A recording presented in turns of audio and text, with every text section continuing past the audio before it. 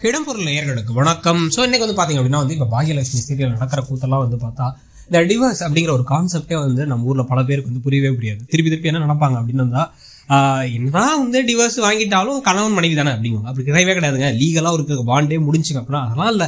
இத்தனை நாள் சேர்ந்து வாழ்ந்த அந்த நினைவுகள்லாம் இருக்கும்ல. திருப்பி சேர்ந்த வேண்டியதானே அப்படியே சும்மா சேர்ந்து வேண்டியதானே அவங்க அதை பிரியறதுக்கு என்ன ஒரு இடத்துக்கு தள்ளப்பட்டிருப்பாங்கிறத யோசிக்கிறதே இல்லை.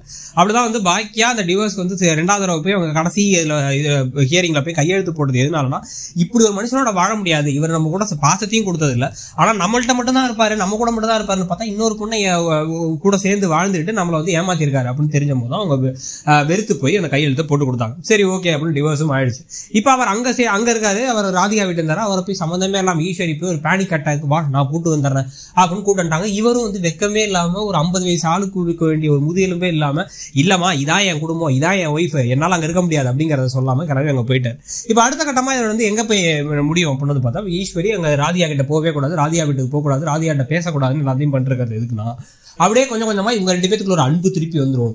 பாக்கியாவுக்கும் கோபிக்கும் இடையில. அதனால வந்து பாக்கியாவும் கோபியும் வந்து திருப்பி ஒன்று சேர்ந்துட்டு ராதிகாவை டிவோர்ஸ் பண்ணிட்டு இவங்க திருப்பி கல்யாணம் பண்ணி ஒன்றா இருந்துடலாம் பிள்ளைங்களுக்கும் அப்பா கிடச்சிரும். அப்படிங்கிற மாதிரி தான் அவங்களுடைய எண்ணம் இருக்குது இந்த எண்ணம் வந்து பார்த்தீங்க அப்படின்னா வந்து அநியாயத்துக்கு முட்டாள்தனமான எண்ணம். ஏன் அப்படின்னா வந்து அவருடைய அவங்க அவங்க பையன் மோசமான ஒருத்தருங்கிறத அவங்க புரிஞ்சுக்கவே இல்லை. தாய் பாசத்தை ஓவரா கண்ணை மறைக்குதுங்கிறதுனால.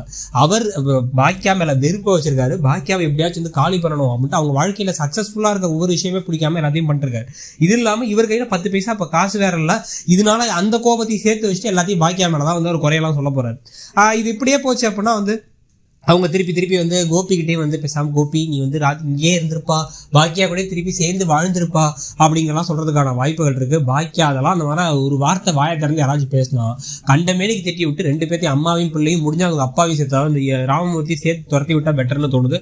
உங்களுக்கு என்ன தோணுதுங்கிறத சொல்லுங்க. தேங்க்யூ இடம்பொருள் நேயர்களுக்கு வணக்கம். ஸோ இன்னைக்கு வந்து பாத்தீங்கன்னா